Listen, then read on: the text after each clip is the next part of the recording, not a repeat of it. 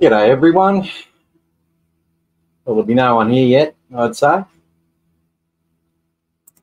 But um, it's another podcast, episode 34. For those not listening live, welcome back. Thank you very much for all the support. Um, been some passionate debates and topics after round one. And we're about to see the team for round two versus Sharks on Friday. So I'm just going to get into that now.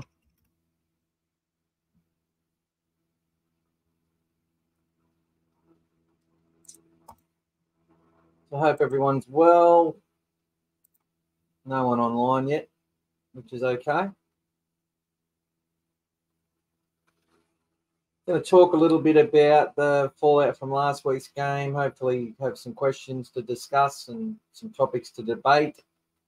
Um, also, want to talk about stats and how they're um, constantly misrepresented, and sometimes and and focus on the stats that I think are probably tell you more about how the game's going. Look, we can see with our own eyes how the game's going, but um, I think when you're discussing a game, if you just look through the stats, you're not going to really understand what's going on.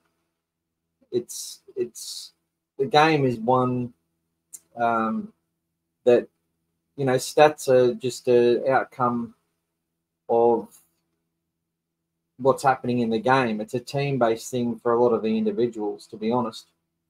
But anyway, one of the topics I want to debate is if a forward hasn't made over 100 meters, he hasn't had a crack because I think that is something that's common out there and one of the um, things which isn't always true.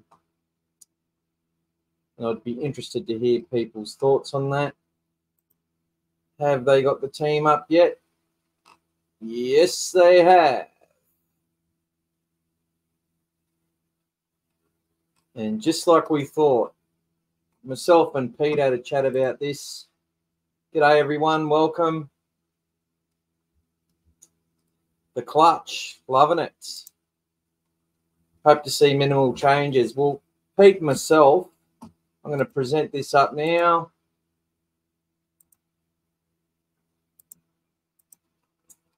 Pete and myself said that um, Tracey would be named on the wing to replace Josh Addo-Carr. And are there any changes in the forward pack? None, which is exactly what you want to see. And we have Bronson Xerri and Katoni Kautoga next in line. Um, next in line. Okay. If a half goes down, if Burton or Hutchison go down, Toby Sexton comes in. Marnie goes down, Turpin comes in. Man goes down, Turpin may come in. And and Josh has been named as number 23 as an outside chance of making the team. Got to love um, how positive he is after he makes a you know gets an injury. Every injury he gets, he says he's going to be he's on track to be back early, but he hasn't actually come back early yet. He's been named and then not played last year. But you've got to be positive. I'd prefer um, they let him probably not play this week. So um, it's great that um, Bronson Xerri's so close to first grade. I think that's going to keep his hunger there. And Katoni Kautoga put some really big hits on in the uh, New South Wales Cup games, which is is a bit of an enforcer in defence. He looks like he's put on a bit of weight up top as well. And uh, being on an edge, though, his involvement can be limited depending on the way the game's going. There'll be no surprises with the Shark side. They have William Kennedy, Sione Katoa, Jesse Ramien, Siosifa Talakai, Ronaldo Mulitalo, Braydon Trindall, and Nicho Hynes. Rudolf, Kaufusi, Nikora, Wilton, and McInnes at lock. With Blake Bailey, Brailey the hooker. On the bench, Finucane, Williams, Royce Hunt, and Thomas Hazelton. With Kayal Iro and Tapua, who it really looks like um, I think they've re-signed him as well. Um, he's a big boy, real big boy.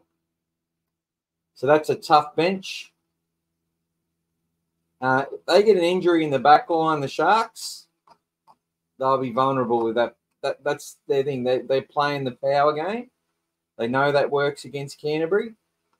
And, you know, I, I think, look, a lot of our fans want to see, probably want to see Katoga come in for, the, for maybe Morin or, or someone like that. Um, because they want to see more size on the bench.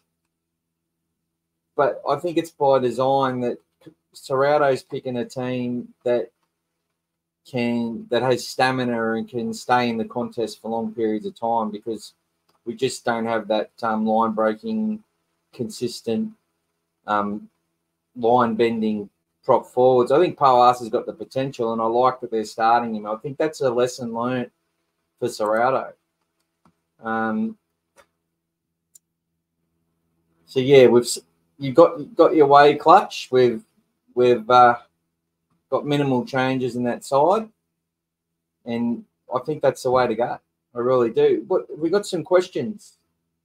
Is is anyone disappointed that we haven't brought Bronson Xerri in yet, or you know? Look, the way I see it, once the team's picked for round one, they, they just have to be given time to gel. And we know it's going to happen. So there's no point dwelling on the players that aren't there they'll get their chance. If they're good enough, they'll they'll do the job in New South Wales Cup and they'll do it really well. And they will knock down that door. I can't say after last week's performance against a very um I felt a pretty good Parramatta side with their attack. Um and they had a lot of fringe first graders in that side. You know, Dory and Ogden were ex Bulldogs. Um, and they caused a lot of trouble for our right edge, which was very raw.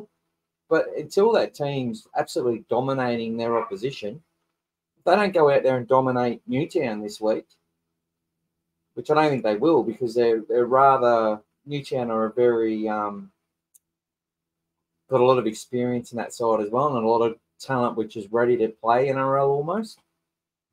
I think we have the talent and we've I think our forwards are really underdone in New South Wales Cup. That's the problem. Knight doesn't look too far away. Katoga looks almost ready, but the likes of Patolo and and Jack Todd's too young yet. It, it, will he'll develop, but Patolo's nowhere near ready. You know, it's just not not where it's at there. Um,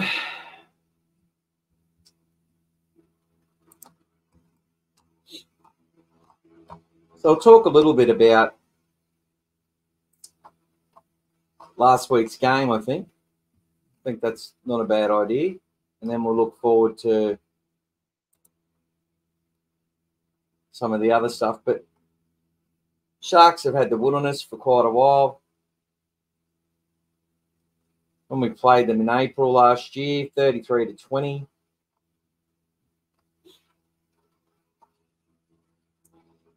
at the venue. We're six from 13 at Shark Park. And that's all they really have on the stats. They don't really have much there. Let's go to round one.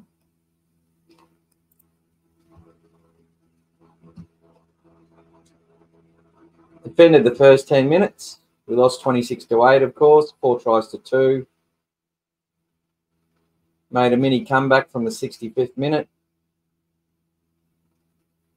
Didn't get our conversions, both from the sideline. You know, one of those games. But let's look at the stats because I like to talk about the stats and how they're misrepresented. We go to the player stats. Mahoney 51 tackles indicates possession. Their highest tackler made 29. When have you seen a team with a player under 30 tackles? Most run meters, Clint Guff, Clinton Gutherson 179, Jacob Kiraz 157. Unfortunately, Jacob Kiraz, that's his average hit up per run is where that um, fell away for a lot of it. Hopefully they'll have good. Nah, they're they're not putting the stats up there, which is ridiculous. On so annoying. On my mobile app, it seems to be there, but not there. Um, what I'm trying to show. So they nearly had 100 more runs than us. Our average meters per run was better, which is interesting. In saying that, that's another stat you to look at. Average set distance 36 meters to 36.97. But they did have 15 sets within our half, which restricts the amount of meters they make because they're they were on our line all of the time. So in a game where we have more of a line share of possession, they're probably making five meters more than us per set in all reality. So I can't the play to the ball speed. You know, if we could have slowed them down that 0.10 of a second, it would have made a difference over the game. But getting back to Jacob Kiraz, um, when we're looking at the, the, the stats, they've only got the top performing players there. Blake Wilson made two line breaks. One was a try. And Jacob Kiraz 157. Um, g'day, Pete. Afternoon, brother. I'm just talking about this stat. If if Jacob Kiraz and Blake Wilson make their average meters per hit up, our forwards make more meters. Parramatta forwards have further to run. But you know, it's all it's all science. So so the debate is when a player, uh, if a forward doesn't make over 100 meters, he doesn't get in. He doesn't be considered as being someone who's worthy of have. Sorry, people say that that he hasn't had a dig, that he hasn't played well. If a forward only has six hit ups in a game like Kikau, Preston had five. Now people say the halves didn't get him the ball, but there was no good ball for him to have it, and their job is to defend those edges and cover both sides of the ruck you know, to tie things up and close them down. And both of our men did that really well. They the communication on the edges was strong. You could see it out there if you if you paid attention, watch the game a few times and focus on different parts of the game. You learn that. You just sort of watch what they're doing. It's, you can see that that must, you know, and you can make fair assumptions as well.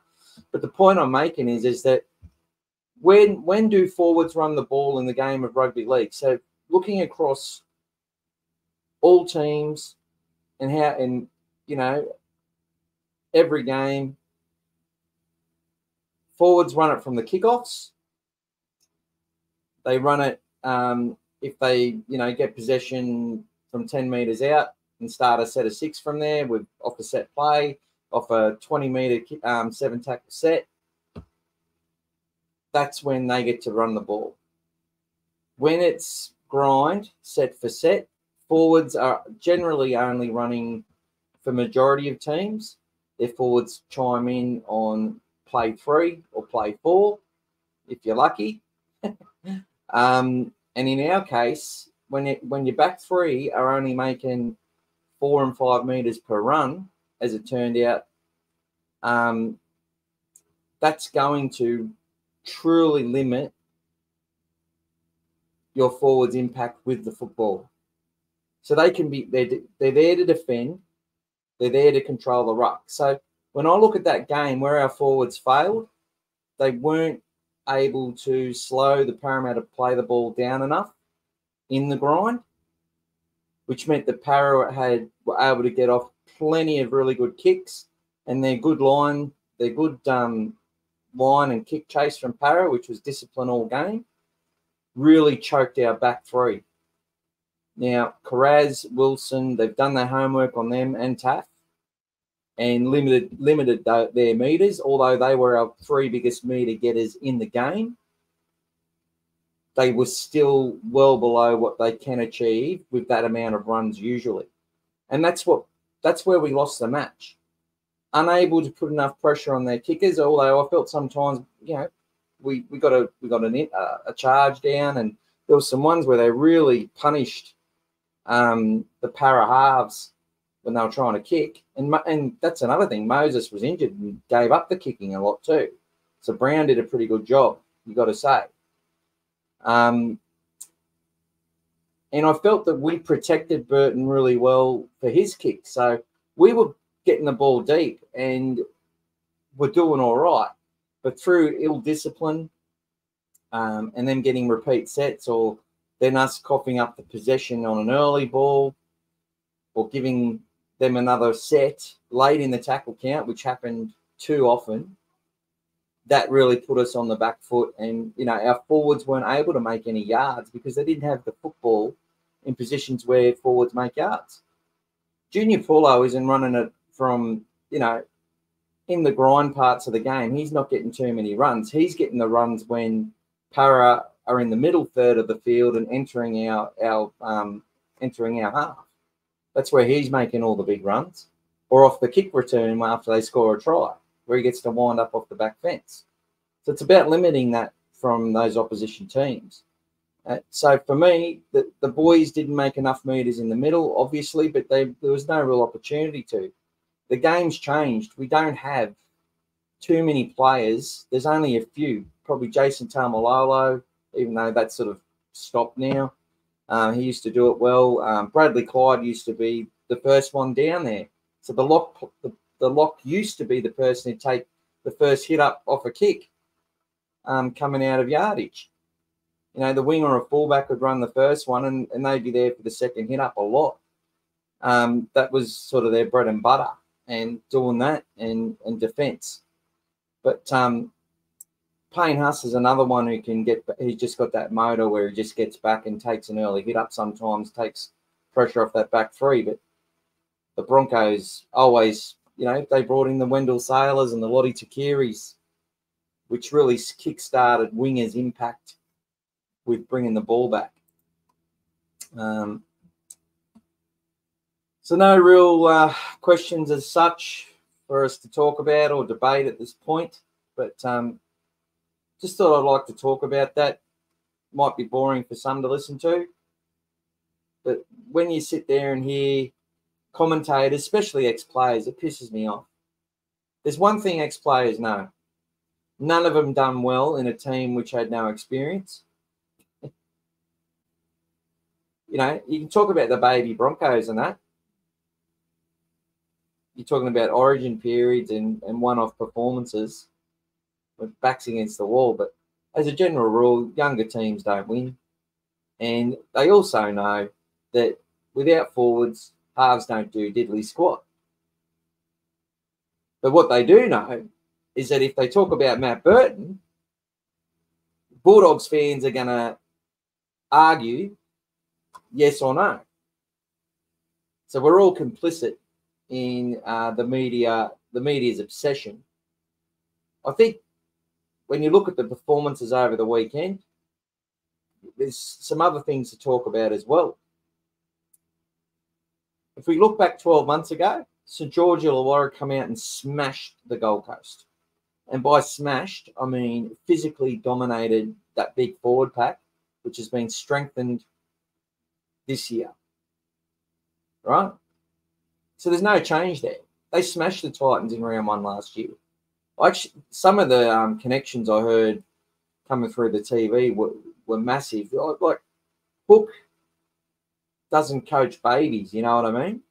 Um, Anthony Griffin, he, he's he's not a pussy coach, and they also led the Broncos 14-4 with about 15 minutes to go, and we're all over dominated. And the Broncos one ended up winning 40 to 14 and then their season fell away pretty quickly after that. Uh, you know, obviously the resilience wasn't there, and they had some issues that they had to solve. Flanagan's there. He's got a pretty stale, stable team. Couple of ex Bulldogs with something to prove. Um, not getting as much money as they were. RFM will be on the same. Kyle Flanagan's not on half a million at the Dragons. No fucking way. um, and well done to Kyle. I wish them guys all the best. But I'm not here to sit there and to start saying, oh, there's something wrong with Canterbury because they're doing well at St George. What you think Shane hasn't coached his son his whole career? Please. Look, Kyle scored a couple of tries like that at the Roosters, closer to the ruck, where he doesn't have to think as much and just runs the footy. And when they don't respect him, he can do that. At Canterbury, he was more of a focal point of our attack. For the Dragons, they're all thinking about Ben Hunt. They're all thinking about it. And even last year, Kyle was able to get some plays happening. S- still doesn't engage the line enough, in my opinion. Um, pass, passes too early. But he, he was able to get some stuff happening on the right, some good balls to Okunbor, and then good play the balls which led to tries. Um, we had situations where, you know, he was able to get good ball out to, to the centres and the wingers, and, and Kiraz and Navarello had a field day. Uh, and Preston early in the piece. Kyle can do that. He can kick all right. But when he's playing off the front foot, he's a competent rugby league player in attack. When uh, you know, he's having to defend all day like he was at Canterbury and do the do some of the defence that the forwards couldn't do. Um, plus, you know, all the politics that happened before the current administration was there, before Gus Gould even come anywhere near the joint. That all started. That was before him. So, look, let's wish let's wish um, all the best for Kyle Flanagan and Raymond Faitala-Mariner. But as I've said, I wouldn't have minded having Shane Flanagan as an assistant coach where he gets to impart his knowledge, which is what he was doing at the Dragons for a few years before he actually then went to Manly for a season. Now has come back. I think he was there from 2020 as an assistant. So I wouldn't have minded him in an assistant role. But as a head coach, no, nah, to me, you're a salary cap cheat as a coach when you're the one who's pulling the strings, and we all know that's the case. And when you you've got your team injecting needles into their arm, um, it might happen at other teams, but I've never heard of it. I think that you're a little bit dodgy. waiting for Big Mark to jump on and have a say. And put some more shit on Matt Burton. Well, as you can see, I did, I did the post yesterday back off Burton. Um, got a lot of support. Thank you very much. Few people still, you know, it was going to antagonise a few people, and it did. Got called some lovely names and stuff. Um, but that's all right. That's fine. You know. But um, yeah, I'm I'm not here to. Uh, we've got people's families that, that listen to this podcast. There's some players and their uh, and their families listen to it. Um, they've given me feedback. There's people in our group at All Things Bulldogs. There's a whole bunch of great groups out there out there which I'm a part of and like to contribute to, and they do a fantastic job. Steve Price just joined the Ultimate Berries page today. I approve that. Um, one of the best captains our club's had. Um, and never forget the time when when Thurston gave him that premiership ring. Um, so let's go back and look at. So, so this game, 44 sets of um, 44 sets Parramatta had with the football. 59% possession, an extra 10 minutes of, of, footy. They were perfect in attack. They, I think they made one mistake in the first half. Well, they were 20, they were 22 from 22 at the 35th minute.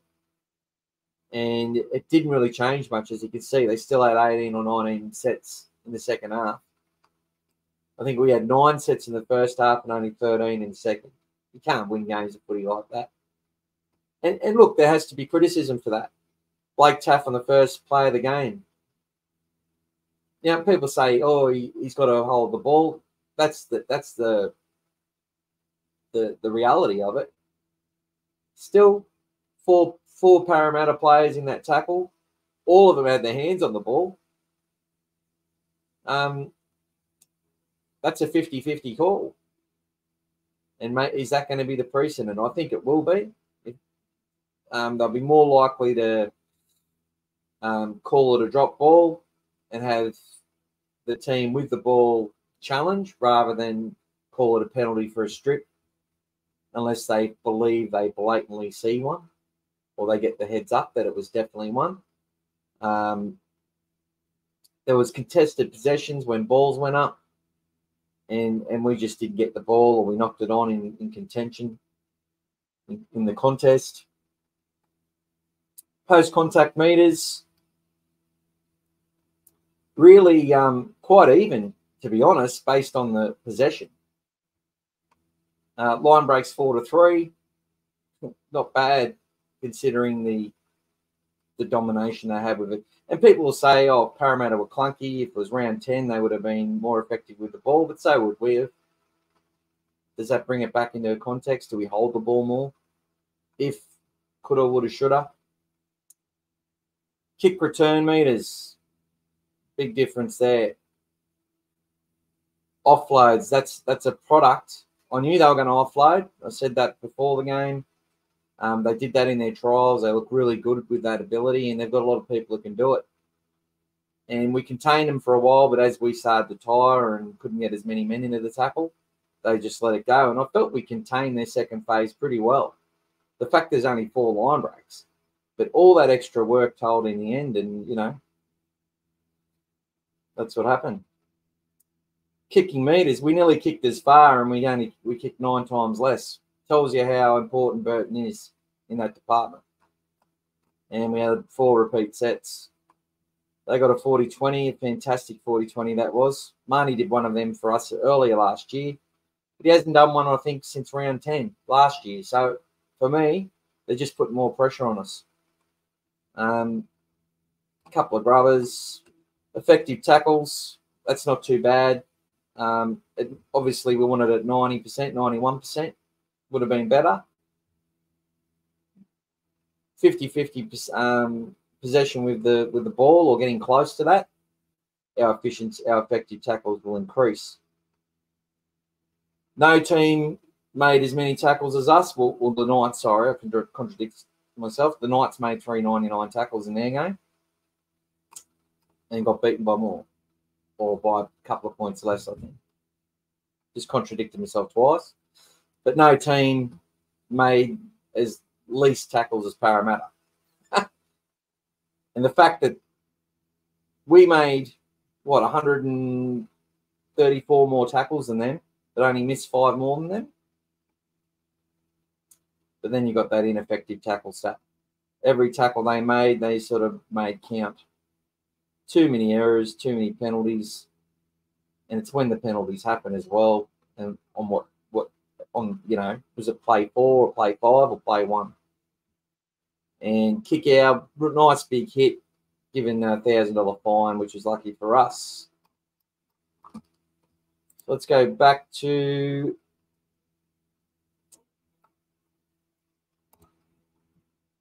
So what are we starting? Three dollars forty-one. Sharks dollar thirty-two. I think Bulldogs with the start at eight and a half points. Hopefully this isn't going to uh, isn't too negative, but I, I, I, think with the start, I think we're um, a really good chance. I think it's going to be a close game.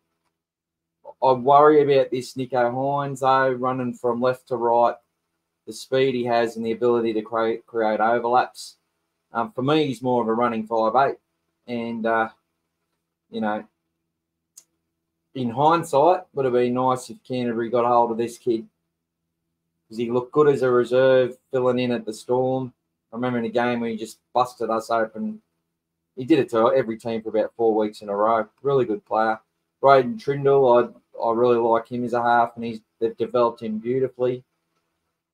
And this this back line is tough as nails. Um, we're not quite as fast as we were last week. In saying that, Wilson's got some got a motor on him and, and he can get across that line. Um, Connor Tracey's no slouch. Blake Taaffe's pretty zippy. And um, yeah, look, if you see Bronson Xerri and, the Fox in there, which I think is the future of our best 17, it's going to look even a lot better. But right now, this is where where it's at. This is what's going to. These are the first people there. They're going to fight hard for the first ten or eleven rounds, and barring injury, um, we're not going to see too many changes, and nor should we. Here we go. Keen to see Tracey against his old club. So am I, mate. And you know, look, I think Tracey. I love Blake Taaffe. if Tracey gets into fullback at some point, not too unhappy.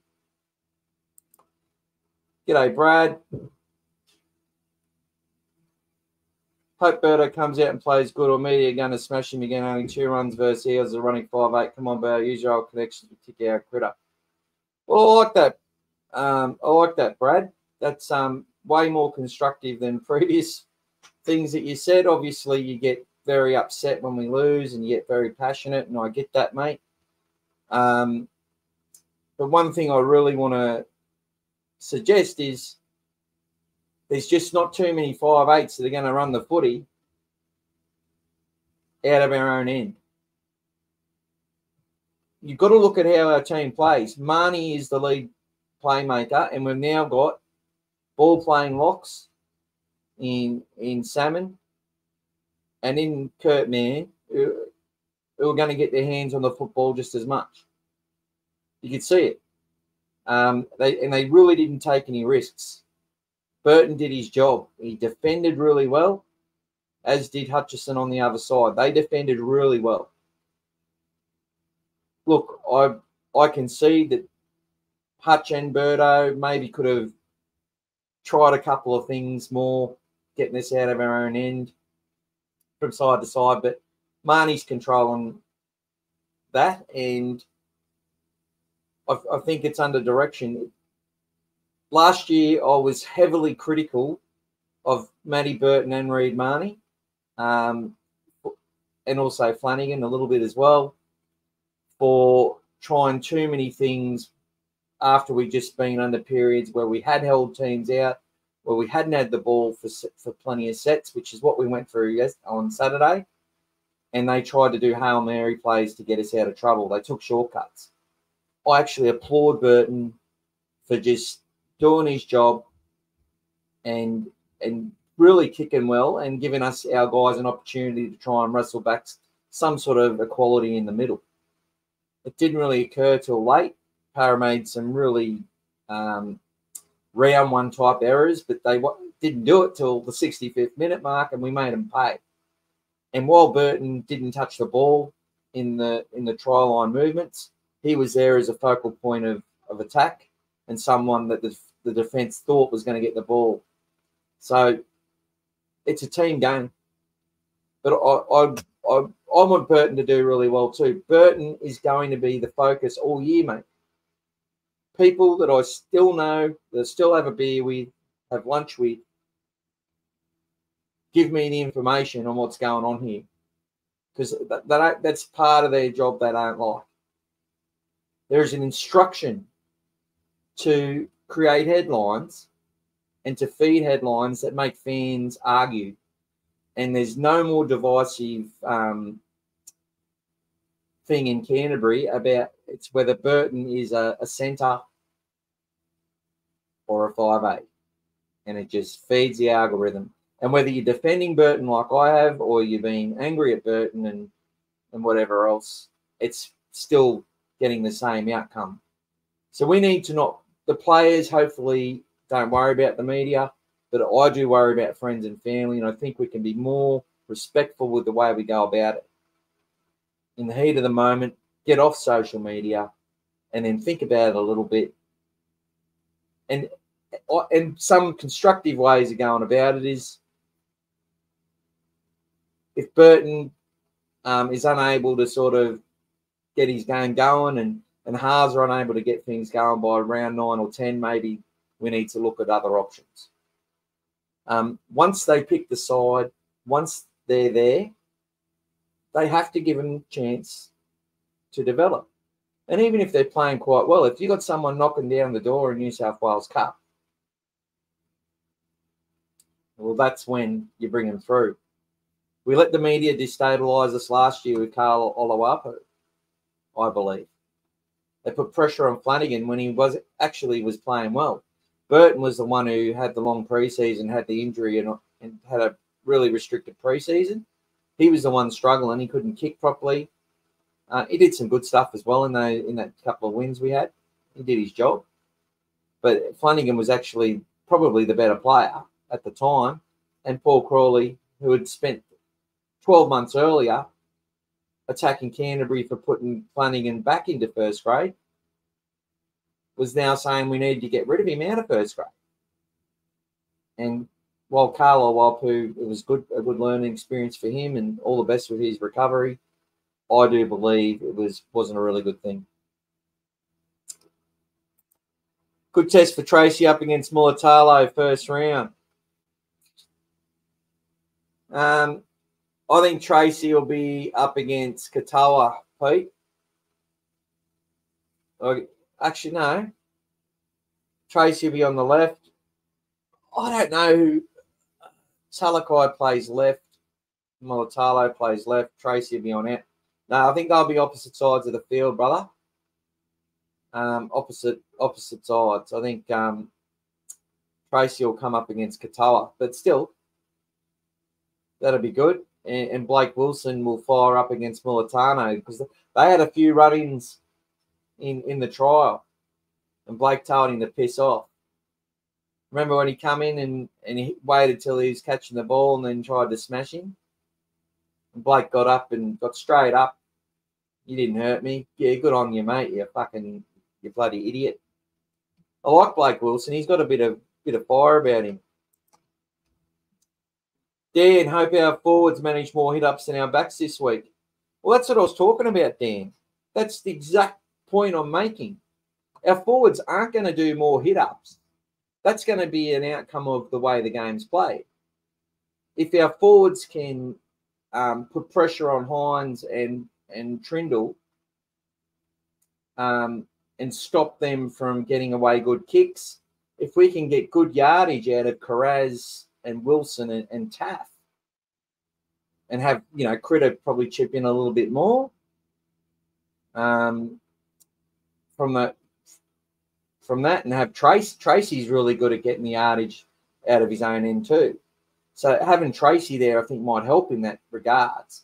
If they do that and can make their average meters they normally make per run out of yardage, our forwards are going to get um, not have to run back as far, so they have more petrol in the tank.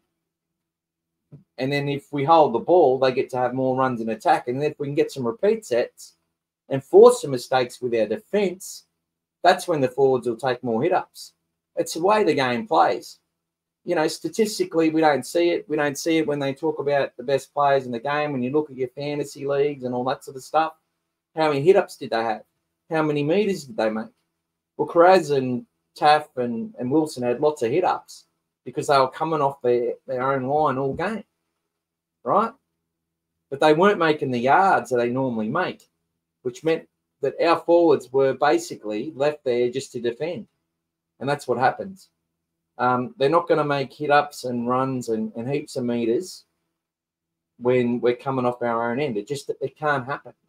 If they can generate repeat sets, if we can have lots of um, you know, attack in their half, then our forwards come into the game and take more hit ups and stuff like that. But um, there we go. The clutch. Keen to see New South Wales Cup squad report. Zane T picked up an injury. If anyone um, wants to check and see if that's up yet, and let us know, and I'll go find it. Yeah, Zane T apparently has done a PCL. Uh, to me, looked way off the pace anyway. But you know, they've got to spend the cap. But they got a forward who does has won a competition. Who's apparently a really good trainer. He looked pretty fit, but he wasn't. His match fitness was way down. Obviously, got history in um, on the field and off it. Um, history with a with that injury and uh, had a stroke. But um, he come on, give it a crack, but looked a little bit off the pace. Uh, Patolo is way off the pace. Jack Todd, good learnings for him. Lipoi Hopoi, I think, found out a little bit on the edge. And Harrison Edwards um, also underdone. There's no one really to bring into that top 17 yet um, from a forward point of view, except for Katoga. And, and Liam Knight is not too far off. Um, Zane named on the bench for New South Wales Cup. Well, isn't that interesting? Maybe there's nothing wrong with him. It's funny. That's the second time in two weeks that I've seen that report come from the same bloody Bulldogs page stating stuff which may or may not be true. Um, but maybe they're they're just testing if he's got a PCL. And they still they still don't know. I don't know. Maybe they don't want to raise too many concerns because they know they're going to cop cop abuse as a club. Why did you sign this guy? Why did you sign him? Um, all right, Dan, I'm going to get go and have a look at the New South Wales Cup squad. Thanks for letting me know, mate.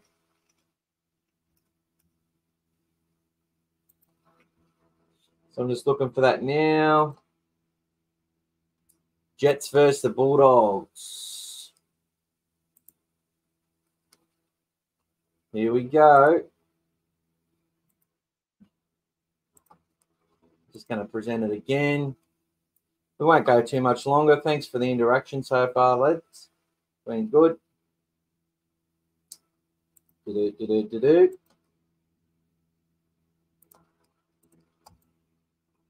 All right. How's that look? There we go.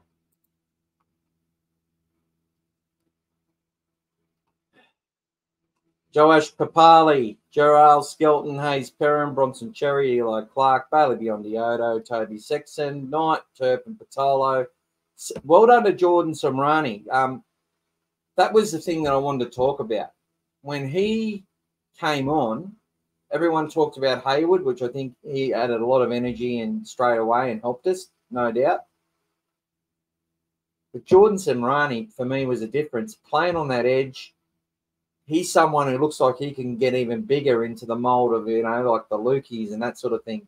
Um, as, as he's a centre, um, always been a centre, but he's got that size about him. Um, let's see if he's got a profile yet. No, they haven't haven't got anything on him about how big he is or anything like that. But I felt he was played really well, and I just got fingers crossed he can get some games under his belt and not get injured. Um, be good for Chris Patolo to start. Um, Hopoi was essentially he's been dropped, and that would go down that. It, you know, for me, Lipoi's always played in the middle, from what I could tell. Big learning curve for him on the weekend. That right edge that he was a part of with Sexton, Perham, and um, and Skelton, they just let in too many points. But they did improve immensely when Jordan Samrani got out there. Harry Hayes is another one. Um, he will defend well on that edge. He, he didn't play last week, but I think these two young guys have a huge future, both of them. Both of them come through as centers, but playing in the edge says says a lot. Uh, Harrison Edwards, he'll be better for the run. Um, and then, you know, to me, that's a Jack Todd's a really good young up and coming prop.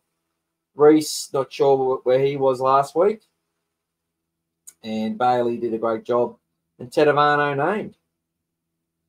Looking at the Jets, Daniel Atkinson, he played really well in the trial against us. Billy Magoulias at five eight. Big boy, Billy. And Puru did some good stuff in the trial versus us as well when he came on. Samuel Stone Street can play. Viola, Dimitru.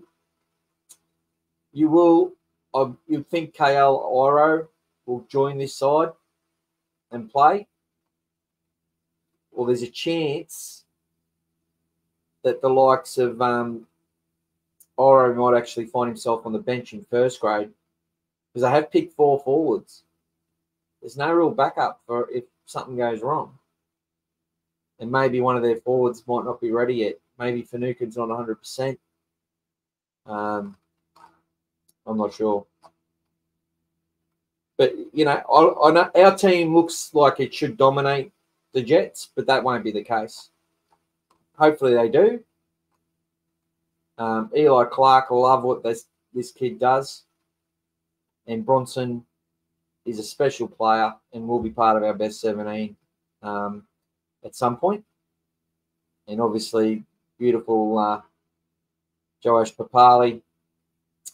The fact that Tony is not named in the New South Wales Cup might indicate something as well.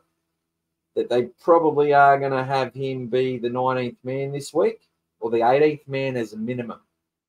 To me, that's what that suggests. He will either get himself a bench spot or he will be the 18th man um, because he's he's fit, he's firing, he's ready to go. So they can make him 18th man. The following week, you'd think they're not going to put him at 18th man. He either plays or he comes back to cup. They tend to rotate that around. Yeah, so the team does look solid there, Dan. Looks very solid. What else have we got? Um, just going over some results. Let's have a look at that. Our pathways are going absolutely great guns. Um, struggling a little bit on the north coast, the um, Andrew Johns Cup and the and the um, Laurie Daley Cups. Let's have a look here.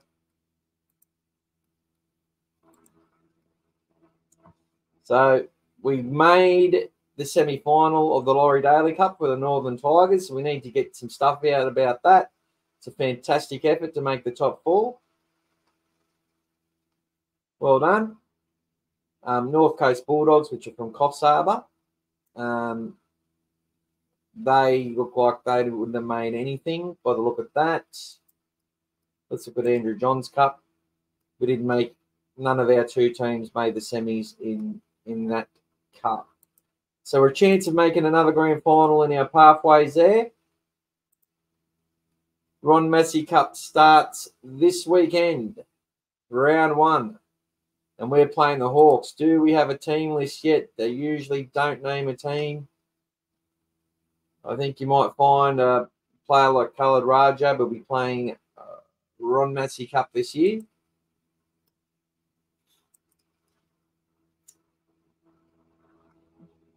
Which would be good for our Massey Cup. And it's still there's a lot more men in that in that.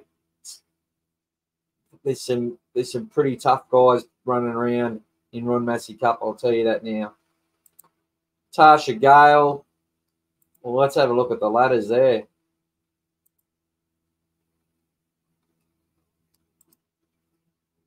Bulldogs, six games, five wins, one loss. Did we lose on the weekend?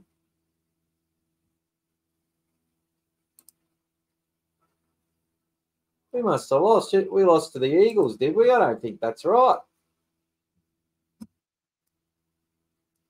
Sorry, I've just done myself a mischief in my brain.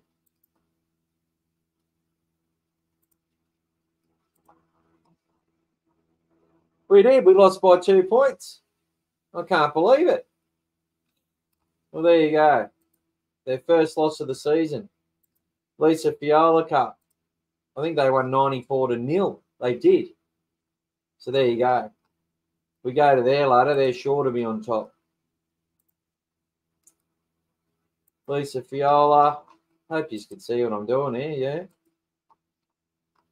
Bulldogs, six wins, zero losses, 334 points scored, 40 against. Um, and they play the Tigers next to it. They've had four wins and only one loss. But you'll find we'll be beating the Tigers in Lisa Fiaola next week. But the Tigers got some tough girls in their team. Um, as you'd expect, Harold Matts, four wins, one draw, one bye for the Bulldogs. Western Suburbs Maggies on top. Always got a soft spot for the Maggies, unless the Bulldogs are playing them. Haven't lived at Campbelltown a bit. And uh, had a few chats with old Tommy. SG Ball. We're climbing up the ladder. They had a massive win against the Sharks on the weekend. They're up to sixth. I think it is a top six in SG Ball or a top five.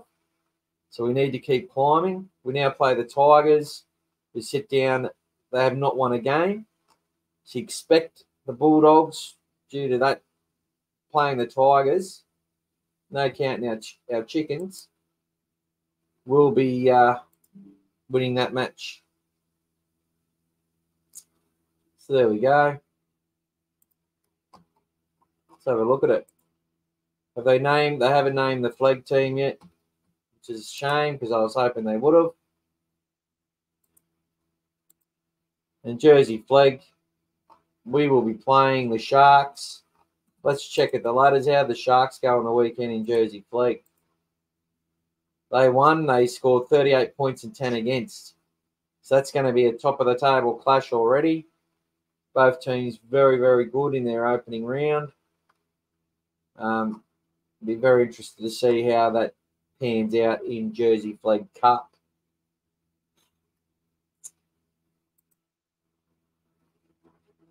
Anyone else jumped on? Burton Centre and Critter fullback. G'day, Sam. Nice to meet you, mate. Um, we can say that for the next 10 weeks, mate. It's not going to happen. and I'd ask yourself, would you expect the coach, after having a preseason and having having them train a certain way, after one round change their whole spine around? So to kick Burton out of the spine and it brings Stephen Crichton into it.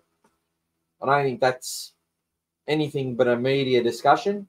Cameron Smith should, you know, I can't believe he would even say that Stephen Crichton doesn't want to play centre. He's not playing where he wants to play and all this sort of shit when you listen to Cameron Smith talk, it's never said. He doesn't say that stuff, you know, with a sort of. He doesn't say it arrogantly.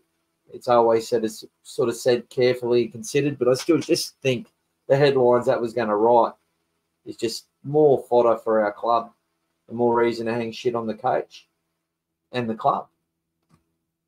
Critter, to me, could go and play fullback for any team in the top eight and do an, an adequate job, do a six or seven out of 10 every week, make 200 metres, run on the fourth, chime in on some backline movements. But guess what? He's going to get caught out defence sometimes. And I don't know how elusive he's going to be from the back of the field because I haven't seen it in his games. Very workmanlike. Um, but just doesn't have that zip where that's where fullbacks are going now, where they have that zip. And Burton Centre, like, who's the better five eight? Tell me. Anyone? Look, I can't. I'd be excited to see Bally Biondi come up, and and some others little Bailey Hayward get a shot. But you'll see when they've got to defend on an edge under sufferance, why that's a really shit idea. Burton, he'll, he'll miss enough tackles, but he'll, he'll make a lot more than those guys will on an edge, especially under fatigue. I'll tell you that now. I've seen it. I've seen them all fail in New South Wales Cup against much lesser opposition. They're still learning, they're still developing, they're still getting better. Once they're ready to go, that's that's when we have the discussion. Oh, hello. I should have. I did not change the time so you would miss out, Mark. I actually got to speak to you in real time here. Tell me, Mark, if you're a coach, would you be changing the team after round one outside of injuries? Do you think Wayne Bennett would? Got another question for you. The master coach, Wayne Bennett, why didn't he pick Jake Averillo in that team? Why did he pick Tesi Niu? And I think Tesi Niu's a really good player, by the way.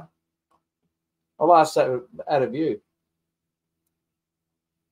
We can be critical of our organisation for letting him go, and Pete especially knows how passionate I've been about him.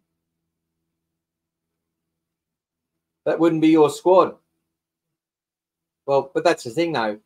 It wasn't my squad either. But once they picked the squad, once they picked the squad, you don't change it, do you? If you pick your squad and all things equal, the forwards knock the ball on and Toby and that don't get a chance to play, what do you think happens? Are you gonna are you gonna tell the fan base to give Ciraldo? If so, Ciraldo picked the squad that he did that you want, and it, and it fails in week one, which it would have. Toby doesn't get us out of trouble. Unfortunately, he just doesn't. Not the way that game was played. Maybe ices opportunities better. Maybe gets us a little bit of traction moving forward. Would have been handy on that last play where we got the intercept. I reckon Toby would have been good for that. Um, but do you think would you be sitting there telling, you know, typing away, saying Ciraldo needs to change the team? I'm pretty sure you wouldn't be. I'm pretty sure you'd be wanting your team to have enough time to at least give a real um, critique on their performance, on how they're coming together and how they're gelling.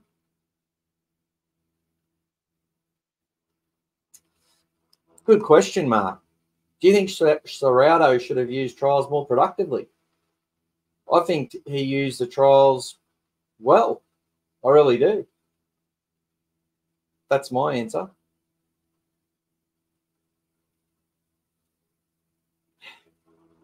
Um, just saw the next question.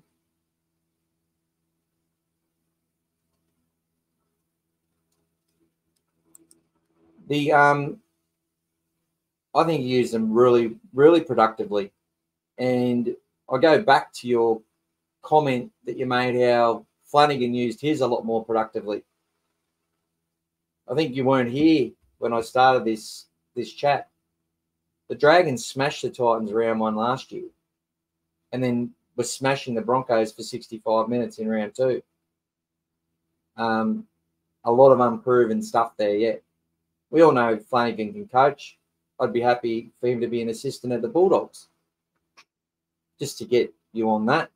Um, more productively, I think he did use the trials very productively. He knew what his best 17 was going to be. He didn't overplay Critter. He got some miles and confidence into Bronson Xerri's legs. He got some miles and confidence into Poasa Faumuina's legs. He got to play some long minutes. He had two players, um, one who was sick and another one got a head knock in that second game that would have played more minutes but couldn't. Shorty Morin got used effectively and got some confidence. Um, yeah, I think he used it really productively. If you want to be, no, he got to showcase Bailey Hayward. He got to showcase Joash Papa, Papali and get the fan base excited about them because they really they weren't. If you'd watch, I've watched Bailey Hayward closely for about two and a half, three years, and I've seen him have some pretty good games. But last year, between last year and this year, he's come a he's come a long way. And if he keeps making that that growth in what he's doing in New South Wales Cup, he's going to find himself in first grade, and he's going to find some of those two hundred fifty thousand dollar um, two year contracts that Gus has given, pennies, you know, are going to find himself in reserve grade, and that'll be the plan. That'll be the plan for those kids to get in front of them, of the to get in front of those fringe players. I don't put Kurt Mann in that in that picture. You don't play 165 games unless you can play. I'm telling you now, he was one of our best on the weekend. Um, so yeah, I think I don't think I know that Ciraldo used uh, those trials very constructively, and in fact, I think he's learned a few lessons. Um, I don't think Poasa would have played in our um, opening round the year before, even with Tavita and all them people not available. I don't think he would have. I think, and I think he would have started him on the off the bench and played him ten minutes. The fact that he's starting with this guy and he's trying to build miles into his legs, um, I think that Poasa is would have been would have got an extra five or ten minutes in that second half had we got actually you know made some inroads and, and got some ball but we just didn't make it happen um, we kept coughing up ball couldn't win the contested possessions couldn't win the 50-50s discipline poor um, struggling to hold to re- wrestle down the ruck and coming off you know and Kiraz and Wilson just couldn't make any yards off off um, our 10 meter line or off our 20 for that instance they just got hammered all game. And their back three um, were able to get a little bit more out of um, out of them and put their forwards on the front foot. And as I said, they had 15 more attacking sets than what we had. Let's get to Adrian. G'day, mate. How you going? Nice photo. Um, better than what you see in here. Someone compared my goatee to, you know, a hairy asshole talking or something, which was nice. In a few weeks, I'd like to see Tracey and Sexton. A few weeks, mate. I, I just don't think that's going to be the plan at all. Bert not showing anything really bottlenecks outside. I like the word bottleneck. I think we've got a real bottleneck of talent and depth at the moment in quite a few positions. And the club is letting the juniors work their ass off to put the pressure on. They've got some players in there that really want to keep their careers going. It's not a graveyard. They haven't come here to die. They've come here to to, to keep their careers alive. Um, hence, which created probably the issues with RFM last year and stuff like that. Um, probably with Andrew Davey, where they felt they weren't being utilised. Um, Ray didn't really want to play in the middle, and he felt that you know that he was pushed down the pecking order. Young Jackson was obviously continually having his name talked about as coming through. Jackson Topine pushed down the pecking order. Um, these can create issues in your roster, and I think the club's done a good job at just saying, at suggesting if you want to be a bulldog, you want to be in the best 17, and you're not picked there, shut your mouth put your head down and work harder. Now, not all not all personalities are going to fit in with that rhetoric, and I get that as well. And some of those personalities will leave and perform elsewhere. There's not one rule for everyone, but I think that's where the club has said for us to get the best out of our out of our club right now. That's the focus we need to have. We need our juniors to buy in and want to be bulldogs at any cost, because as far as the Panthers go, their juniors don't really want to go anywhere unless they're paid big money to leave. And we had to pay Burton 550 grand before he was even doing anything, really, to get him out of that club. And Critter, they had no more room for him or Kikau. So essentially, they're rejects, um, which people also need to understand. So Burton, look, I agree that we've got the depth there, mate. But I think you can't have it both ways. I watch I watch our New South Wales Origin team, right? And I and, and that's a good example of a team that has to come together. Obviously, much all the highest paid people in the game. Um, but you get those that team that comes together when and they really maintained possession in those games. Oh, they, they held a lot of possession. They played a Penrith style, and it worked against them because Queensland picked a team that was faster and stronger. Got more passionate, just faster and stronger out wide. And they asked more questions. The point I'm getting to is that Cleary played a controlled halves game. And because his forwards really couldn't get the domination, although they had lots of possession, they didn't dominate Queensland's forwards at all. Um, at best, they were 50 50. And he was restricted to kicking, chipping, passing. Obviously, a lot more involved as the seven. And what was Luai doing? Luai's got a really elusive stepper, I get that, but if you're not able to win the forward ruck, um, that's another thing. If you're when you're playing Origin as well, it's slow play the balls. A lot, it's much slower play the balls a lot of the time. It's a faster game in play, but they don't police the ruck the same way as they do in the NRL, and that suits Queensland immensely. Um, New South Wales probably thinks it suits them, but it doesn't. When you've got a slow ruck, you pick a faster team, they're going to win. And I thought Stephen Crichton was our best player in Origin last year. And I've been critical of him in the past, just I thought defensively, I love what I saw. And that's why he's at centre for Canterbury right now. Anyway, man was our best daylight second. I don't know about that. I thought Curran did a really good job. And um, I felt I actually felt Burton really kicked well and defended well. And Hutchison saved us on numerous occasions. But people, I don't obviously not everyone has the time I have or the insomnia I have to watch the game as much as I do and to really focus on individuals. And you know, I used to rate the team, and I might do it again. Um, and I'm not a not the harshest marker. Um, you know, maybe I should mark mark them as if they're the best team and they're losing. Not because otherwise you're being mediocre apparently, but I just felt he did the best he could under those circumstances. Two runs is a product of being the five eight coming off your own line. Maybe he gets in there and takes a few runs from dummy half. Who knows? Or gets one wide of the ruck and takes a few hit ups and says, "Come, come with me, boys." What is that? What you want from Burton? Is that what we want? Don't know. See you, Pete. Dogs by one to twelve. We hang on to the ball this week.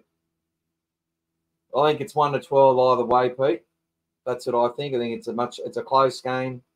Sharks are going to be very, very tough to beat. I think we're getting closer to them. I really do. I'll be I'll be massively disappointed if we're blown off the park this week. But still, it's not going to change me. I'm not going to sit there and say change everyone in the fucking team. I'm going to say let them gel, let them get some cohesion. We are running dead last. If I if the cohesion stats that I use for my gambling purposes, which I don't share, right? The teams with the best cohesion win 90% of the matches. It's a fact. They're not Sportsbet don't want anyone to know about it because it'll fuck with their odds. And they don't give you good enough odds for the actual if they were really paying, paying income, especially in the try scoring odds and all that sort of stuff, people should be at 100 to 1, not at 20 to 1. Fucking rip off. What do you reckon they do at training? Because they were inept in attack, coughing up the pill. They must really love the tackling practice. That's a bit of a nasty comment. Um, obviously, that they do rep after rep after rep in attack, but honestly, man, what, any team that's turned things around, where do they what do they say they've worked on? So what they say about um, what's his name at, at the Cowboys? What do you have him doing when they went from 15th to the top four? All they did was tackle for 90 days. That's all they did. And you want to know something about the Panthers? I know we're not the Panthers, we're not the Cowboys, we're the Bulldogs. I get that. You want to know what they focus on every year? Is defense. Because they know if they keep defending their line and they keep making it, and they don't beat themselves and they make other teams beat them, right? They keep doing that. Eventually, their passes will stick. Eventually, they will beat that team. And they have that belief, and they've been playing together since 2014, 2015, these kids, right? That's that's how it's done. They lost the first, they lost the trial and the first game last year against the Broncos. Had a lot of close wins, lost to Parramatta twice, won their third premiership in a row. And and it's always funny that the new kid that comes into the team into a new position, Taylor May, I know he, he played wing outside Moga or whatever his name is a couple of years ago before he did his knee, but he was their best player on the field. He had to step in for Stephen Crichton, and he did it really well. But their attack's still not flowing, it's still not clunky. Cleary had 30 runs with the ball. They couldn't penetrate the immovable object, which is um, Melbourne Storm in round one. I completely spot giving the team time to gel over. If Critter's not getting the ball as often as he should, I'm thinking he needs to go to fullback. Hey, Dom. I think um, Critter, it's a fair comment. I think what's more important for us is defense. A team, our, our fan base get obsessed with attack and the media get ex- obsessed with our attack. Right? The attack develops over the year. Um, it's not a defeatist attitude to say I'd rather us lose by two than you know lose by 12-4 than to go down 28 to 26. I think that if they focus on the defense, the attack comes. But if they don't hold the pill, as alluded to by Mark, because they don't apparently, you know, he's asking the question. Drive that bus down to training and, and meet Gus there and tell him what you think of him. But you won't. Tell him what you think we should do. See what he reckons. Um, yeah, getting back to Critter at fullback, I've just never rated him as a fullback. Does Critter want to play like a Justin Hodges? Justin Hodges, in the back end of his career, when he, you know, from about the age of 27, 28, was a much better footballer than he was as a junior. And you'd say that he's he was as talented as, as Critter. Critter's probably got a lot, got a bit on him at the moment, to be honest. But he used to get in a dummy half and crab across on both sides of the field and just get involved and get his hands on the ball and make shit happen. And I think Critter should have that license. But yet again, Critter catching that ball on his 10 meter line, getting it to the 15, he's going to get more touches. He's, it's just going to make him tired and it weakens us immensely on the edge. We just we need to have people who can defend and can communicate and work together on an edge. Once you have that trust, then you have trust and cohesion. When they're under sufferance, they don't crack. Or they only crack once instead of cracking five times, like it's been the case for us. So that's that's why we've got to keep good defenders in the positions they know. Because look, I think fullback will be where he ends up, but maybe not. I see Critter playing centre and Joash Papali in two, two or three years being our fullback. So, and if we get those forwards developed and we can make things happen, then Critter comes into his own. Then he gets plenty of ball. Josh Morris used to get plenty of ball, didn't he? Why? Because we had a good side. We had a team that had a good forward pack.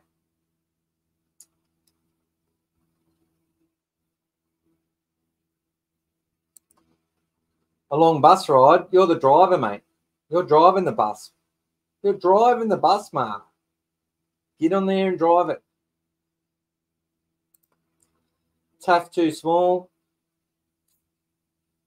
He's, as big as Reece Walsh, mate.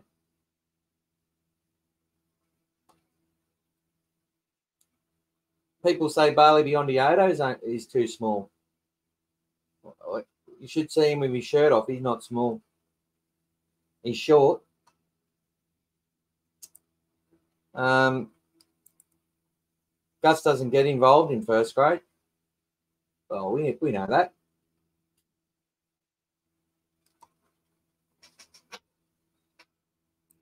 Kurt, Adam Fogarty, get a get a Adam. Is it Fogarty like like Jamal Fogarty that that Braith Anasta likes to, you know, criticize immensely? You can't trust Braith when it comes to halves in teams that don't have established halves. You know why? Because he's got youngsters that he wants to get to bump their price up, and he uses his mouth in the media to do it. Very impressive, Kurt Mann, mate. Um, you know, and he seems to have time. Like that was a thing. Um, watching him go to line, he looked very careful and measured, and very. Um, he was also t- basically telegraphing what he was doing, but it worked every time. You know, they made some yards off it. So yeah, I agree with that. Um, and his defence was a was great. They that's the thing I want to ask. Um, fog as in mist, Fogarty, like in Creedence Clearwater Revival Fogarty. Loving it. Mark, what do you think of Kiraz at centre? You didn't ask me that, but Mark will get on here one day and answer some of your questions, hopefully. Um, would you leave the same lineup? What would you change? Any position? Thanks, brother. Sam, I'm not changing nothing unless it's injuries for unless you get four or five rounds in and they're just an absolute debacle. I wouldn't have called called them a debacle on the weekend. I just Parramatta knew our weaknesses and exploited them and we know our, our weaknesses and tried to to mask them a bit. And then, you know, couldn't get the possession. Um, Blake Taaffe to me, as I said, they had four sets of hands on that first contact. In the past, the ref sort of flips a, you know, flips a coin. Um, flips a coin and, and says there's a penalty or a knock on. I believe it was hands on the ball. But I think the way forward is is that if you cough up possession, you're going to be expected challenge to get it back. Um, and it's if they just all put their hands on the ball and all sort of using force without extending their pulling with their elbow like that, pulling, they sort of use pressure and, and force it out and have someone on their arm it's all mechanical, it's all wrestling technique, and it's really difficult. I challenge any fucking fans to hold the ball in that situation, whether they're big or small, unless they've practiced doing it. And um, obviously, Taaffe, we needed him to hold it, and we then had to defend for 10 minutes. And it set up the tone of the game. I felt terrible for him because he's a really good little player. Um, I wouldn't change any position. The only people I'm potentially looking at, bringing in from a size point of view, if they're ready, are, are Liam Knight and um, Kitione Kautoga.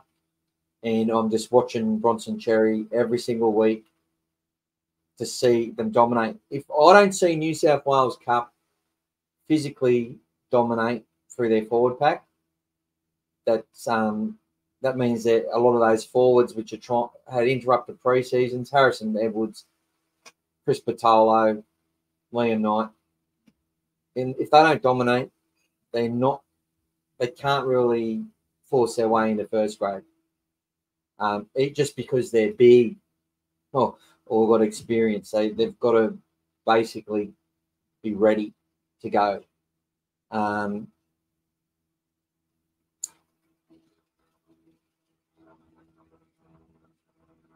Mahoney or Marshall King?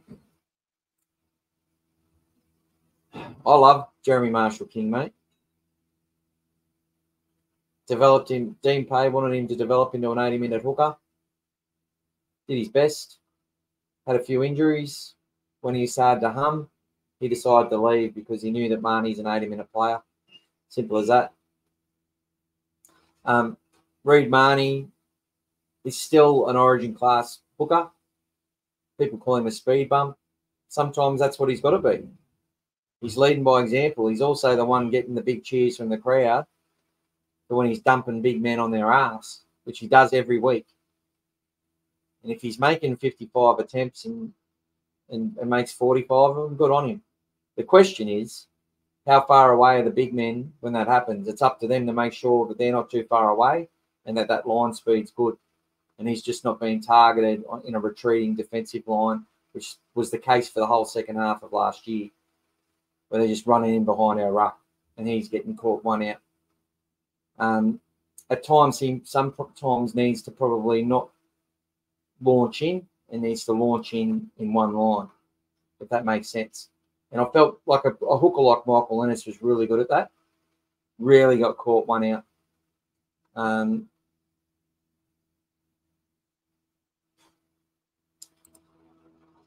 is the back five overused in hit ups?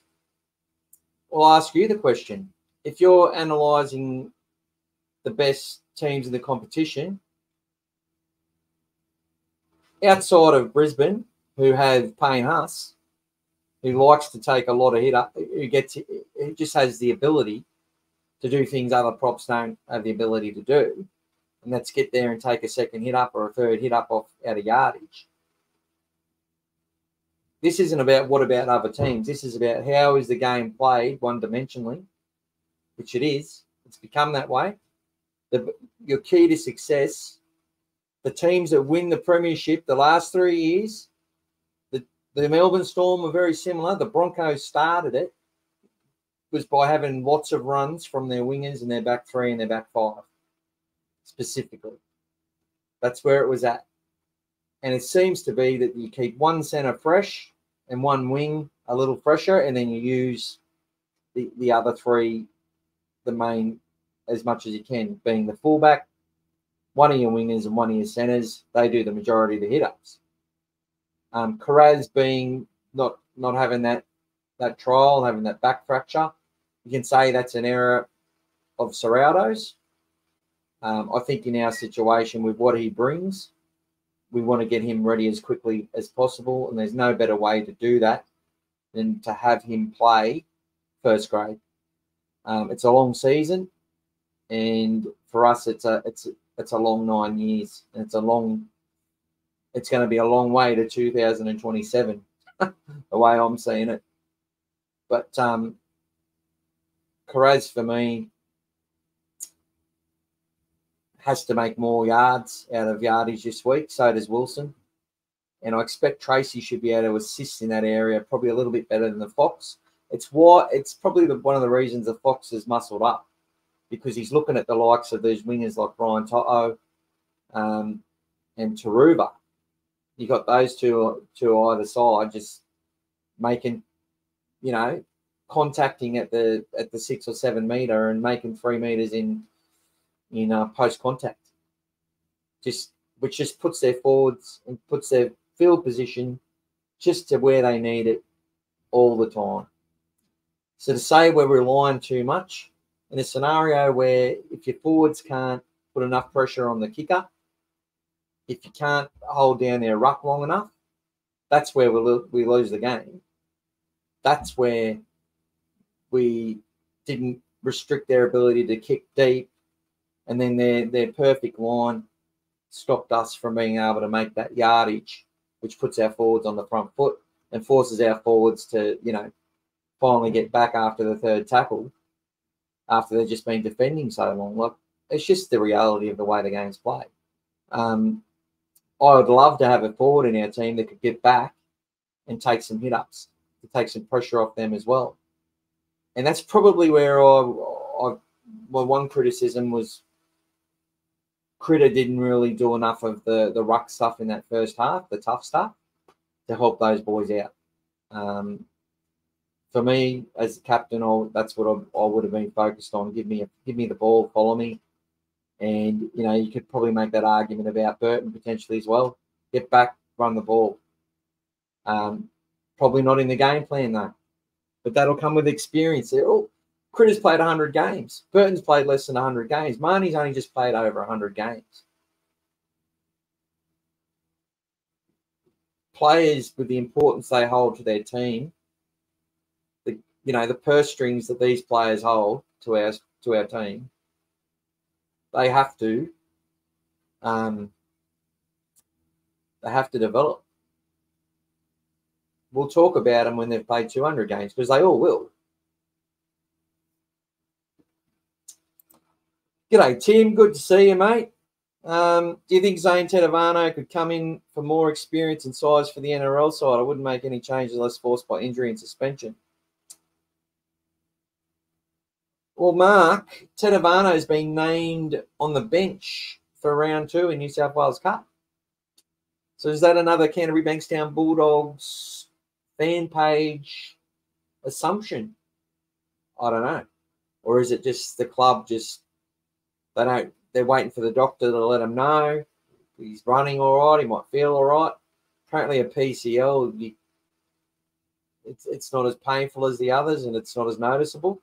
I, am fucking don't. Maybe that's the MCL. I don't know. I shouldn't talk about that shit. Um, yeah, but, yeah, Tim. I watched. Go watch the New South Wales Cup last week if you haven't, and just focus on Zane Tetevano and you'll probably answer that question yourself. To me, he looks half a season away. And if he's injured himself, he's going to be um, some good experience and a good head around the place for our cup boys coming through. And that's all right. They've got to spend their cap. They've got to spend the cap. 95% of the cap. This shit from Buzz that we're under cap pressure and the reason we're asking for dispensation is because we're under pressure. Well, they should ask for dispensation whenever they can get it. That's a fact. And uh, to have more money in your cap, you should have as much as you can at any time. So, and then you hopefully got the money if there's an opportunity there. But the way it's going, very hard to get good forwards. I'm um, I'm thinking that um,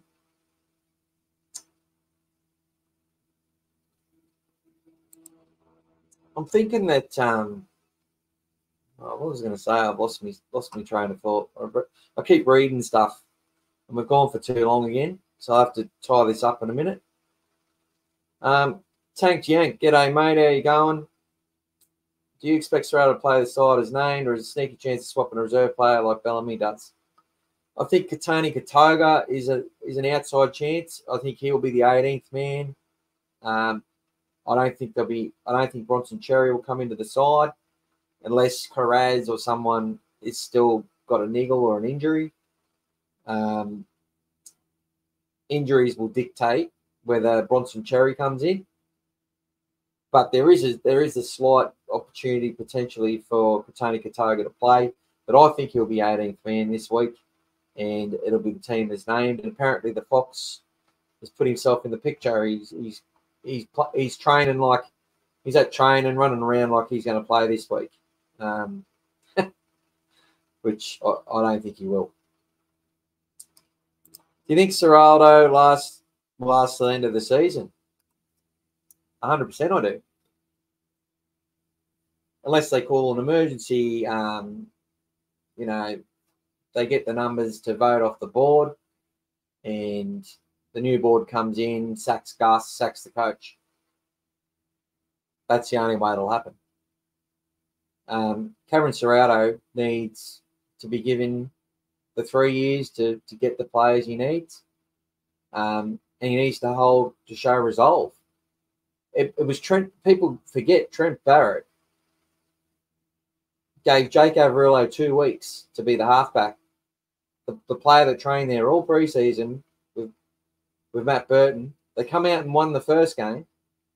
They should have won the second. I think he had one one um, kick that went dead in goal. That was his error. And then they dropped him and brought in Brandon Wakeham. Wakeham had a really good start to the game. We we lost by a point to Manly. They went then went to the Melbourne Storm. Looked pretty good early. Was holding them out. Was going back and forward, and then Ryan Papenhuyzen came to play, and uh, the boys just their structures fell apart. They lost confidence. Lost forty nil.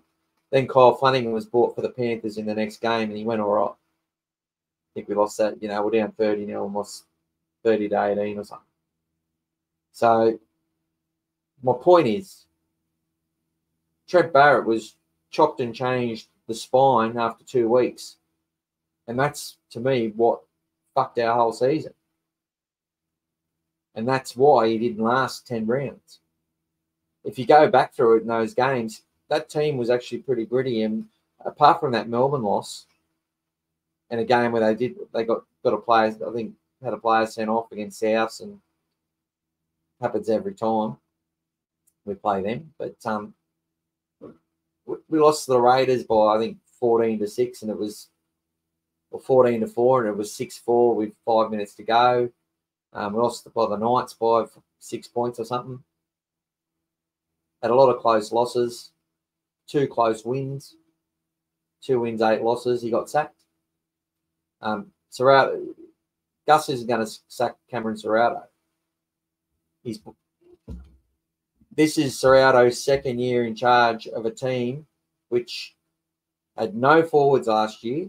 And I'm not saying he did everything right because I know for a fact he didn't. Some rookie errors in there for sure. But he had Mick Potter there as his assistant.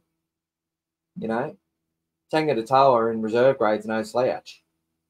They were all telling him what they think. You know, it's, it's a, there's reviews every week or every month they're done. Um, on everyone in, in the club, including Gus. All right. So, a, a short story with a long answer is Cameron Ciraldo will be the coach. Um, I don't want to like Gus a lot longer than I'll be alive. we all saw how that ended up, didn't we? Would Ciraldo consider bringing in Jeral Skelton, or is he a defensive liability? G'day again, Tim. I think Jeral Skelton and the dog father thinks Jeral Skelton should be playing, and um, he, he's putting a lot of pressure on Gus. Um, Gus, you know, his Adam's apple was under under a bit of stress um, when last time we spoke to the dog father, but um, I don't think he's a defensive liability. I'd say that his reads aren't as good as some of the other players out there. and He doesn't have that turnaround and chase speed that the likes of um, the Fox and Wilson have got. They have the ability to, if they are caught out, to to still get to their man in many cases. Um, but in saying that, he brings a lot of other stuff to the table. Um,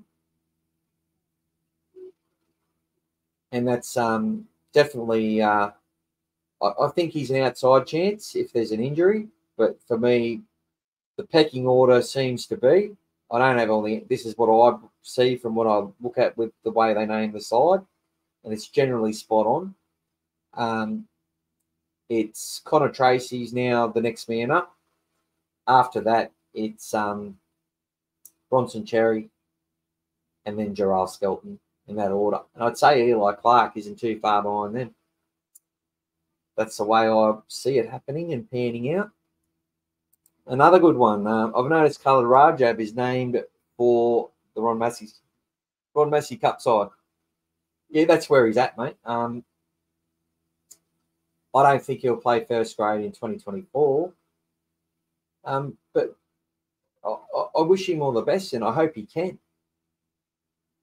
Unfortunately, uh, I said this with the politics stuff.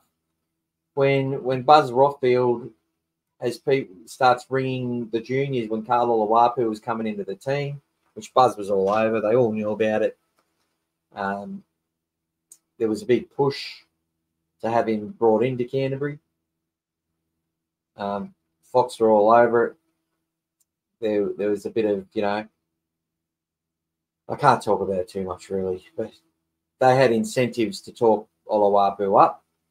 Um, and that doesn't come from Gus or Ciraldo or anything like that. That's outside of them. So when you've got so Buzz was ringing around some of the juniors, the Rajab, speaking of parents, speaking of family, and and essentially, um, like he likes to do, to to put Canterbury down. He, he all but name Khaled Rajab as the one who was looking to sign elsewhere because Karl Oloapu was was brought to our club and that's the exact sort of thing. And it, look, the Bulldogs juniors being a pretty small um, pathway, a, a, small league, small bunch of leagues with three thousand juniors. Sometimes it's been two and a half thousand at different times. Like it's not huge, and it and then you know fighting borders with um with a bunch of other leagues, the Dragons and the Sharks, um, the Eels, the Tigers, uh, or the Maggies. So when you've got all that sort of that fight for for your area, these kids, you know, coming out of the great high schools in Canterbury, they they've always felt um,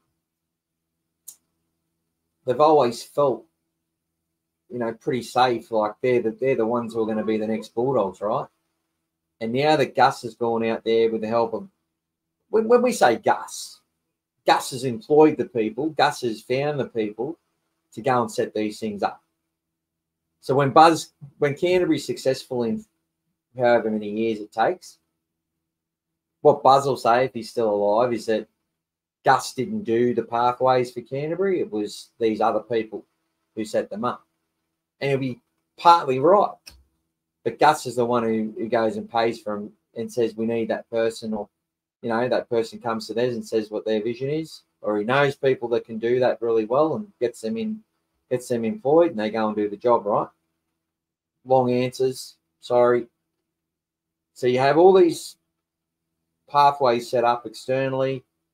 The, the Northern Rivers and that was set up before Gus come to the club, but you've got the Toowoomba, you've got Bundaberg, you've got New Zealand, two two academies there.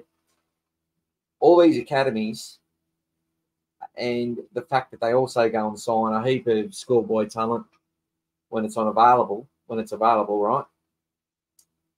Because they're blocking up their pathways of all these players, kids like Rajab get really um, they get nervous, right? And their families get nervous because they can they're on the cusp of everything that they've worked hard so hard for in their lives, you know what I mean? And and that's where the the envy and and and, and all the you know the jealousy and all that comes out of it. And that's when they could see that other people move past them in the pecking order.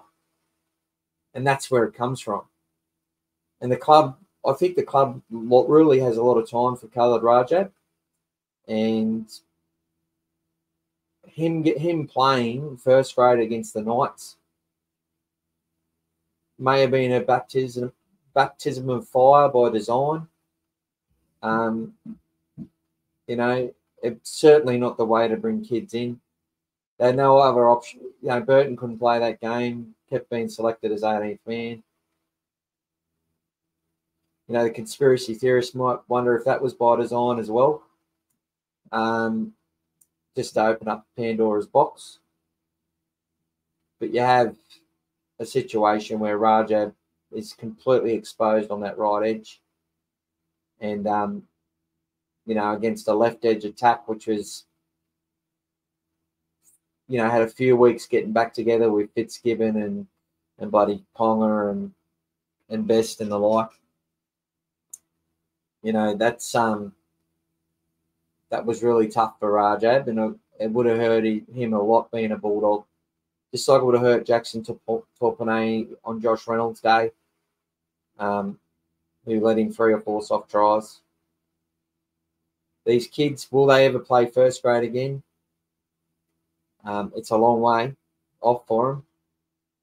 But Ron Massey Cup, that's just where we're at now. We've got we've got all these juniors that have come out of Flegg, and they're too old for Flegg now, and that's where they're going to play. Last year they used SG ball players, and and that basically had two Flegg teams, and sometimes they would swap the whole side from like because Flegg were doing so well.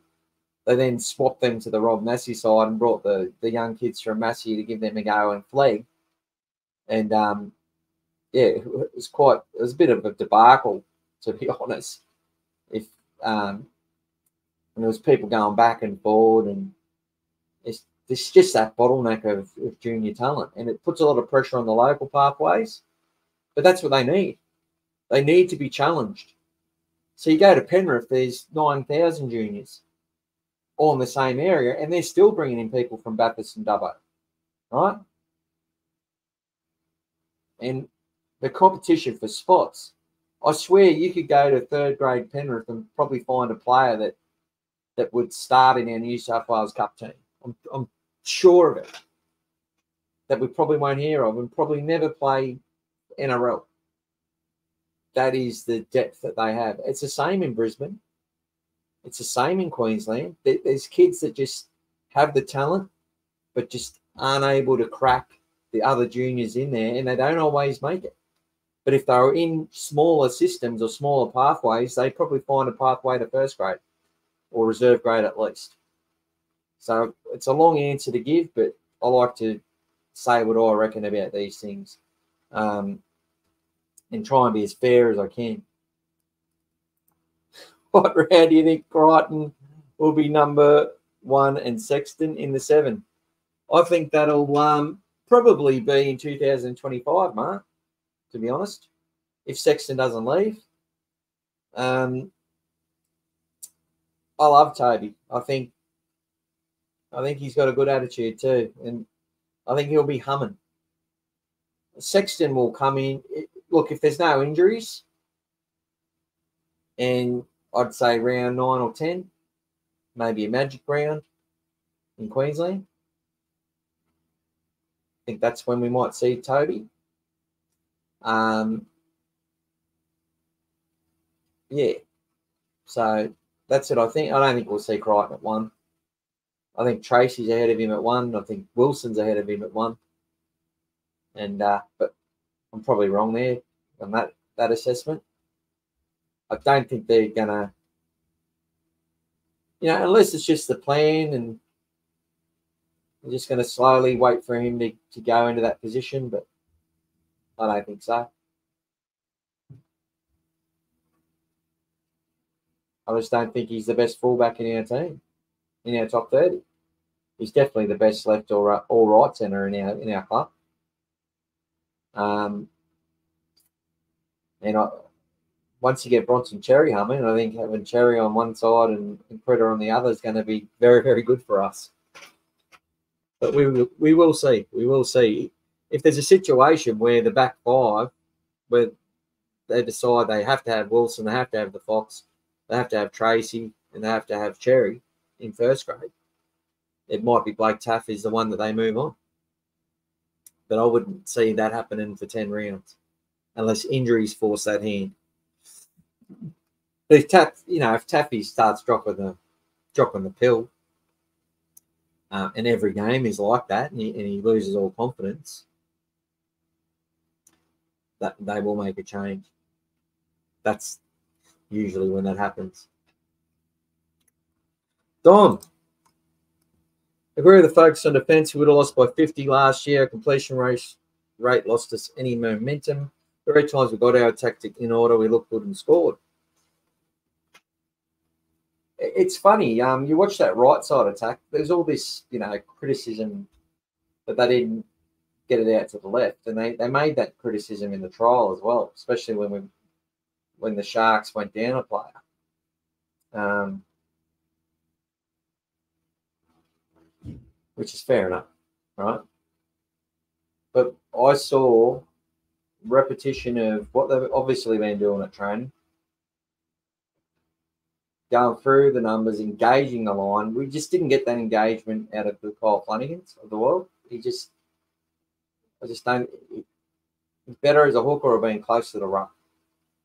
It's how you play Bloody hell, Ross. Don't come here with any more racist shit. Um, the Red Times we're going to attack Norwell good. What I was going to say is if you watch the um, New South Wales Cup game in the first grade side, the tries that were scored on the right edge look very slick to me.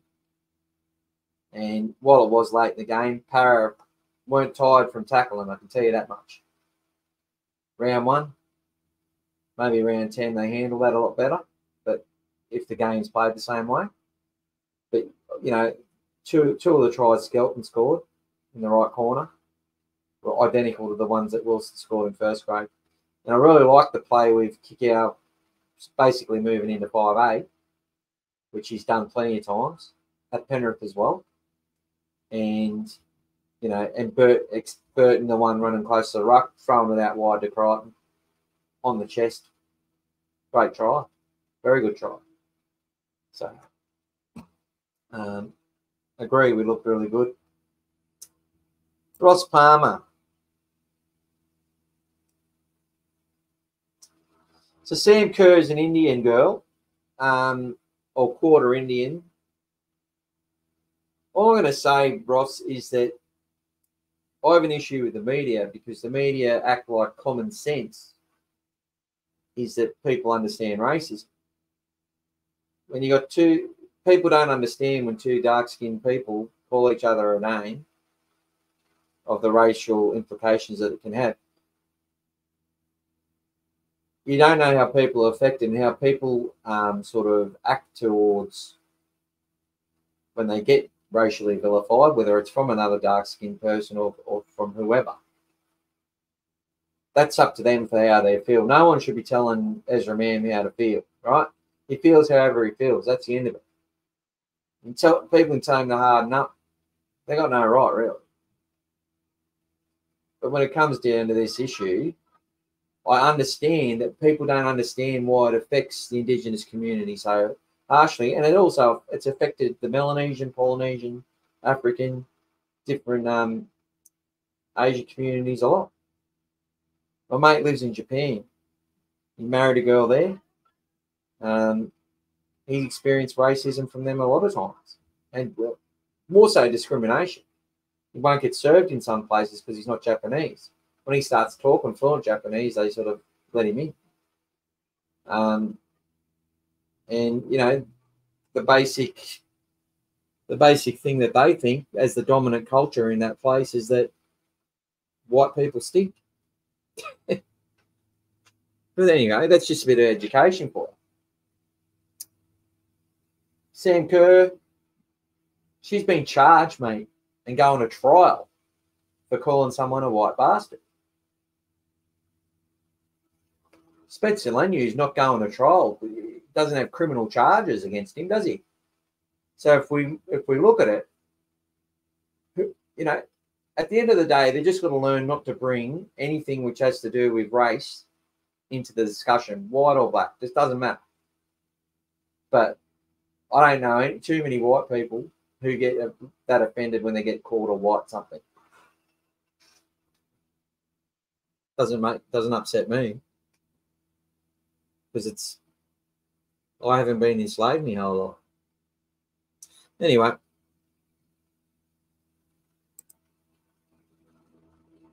Have a read of the kennel, bud. You will. Uh, yeah, I'll, I'll go to the kennel sometimes, mate.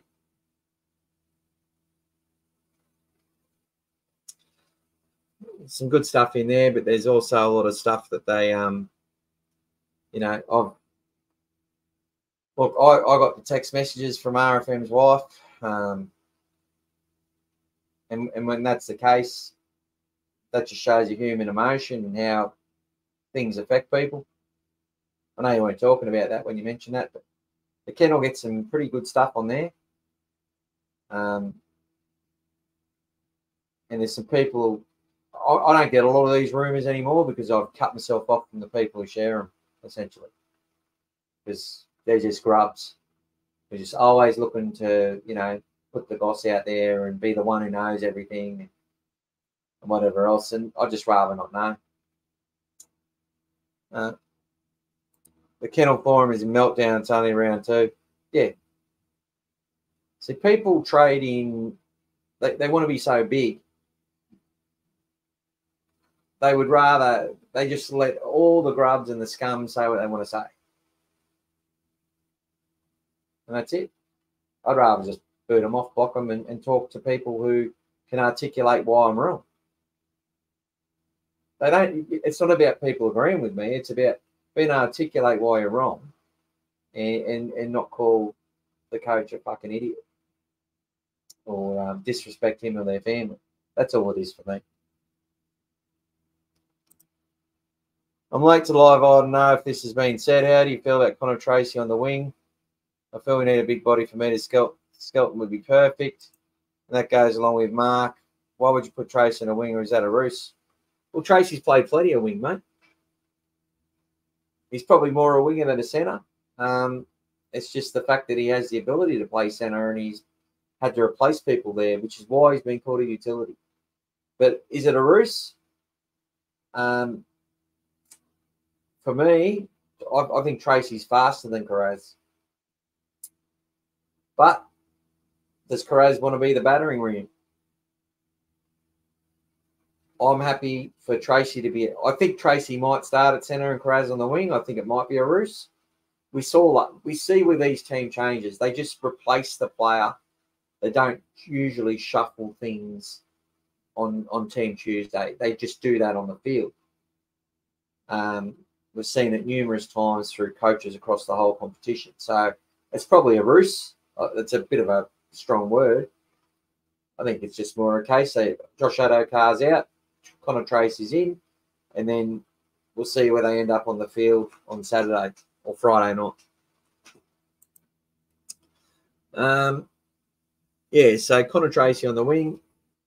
He's gonna he's gonna make good meters and yards and do whatever he's got to do. So there you go. Um, this will be the last question, guys. Time to go. I've gone way too long. Thanks to everyone who's come in and had a chat. Tracey's in the mold of an Edwards. I would have him at fullback, put him in support of, um, CC with Taaffe. So there you go. Look, I think Tracey might end up there at some point. He didn't have the preseason.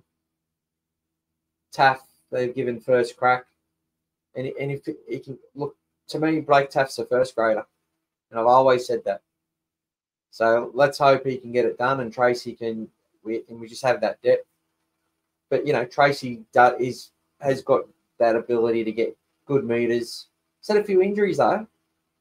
Uh, he's a little bit bigger, bit bigger body, still pretty powerful and explosive. And I agree, can sort of play in that mold of a Dylan Edwards. That's where the fullbacks are moving. That's why they're not the, in the Stephen Crichton style anymore. You know, if you they used to talk. What was his name? That bloody Dugan used to be a fullback, the big lanky fullback. You had Paul Hoff. Um, now it's it's the more chunky, nuggety, um, explosive types that are sort of fulfilling those roles. You know, um, and that's where it's at. And I, and I do agree. All right, guys, thank you so much. Two hours. Pete, me and Pete talked about how I was only going to do it for half an hour today. Fucking failed. um, thanks for joining, everyone. Hope you uh, got something out of that. And look forward to seeing you all after we win on Friday. Go the dogs.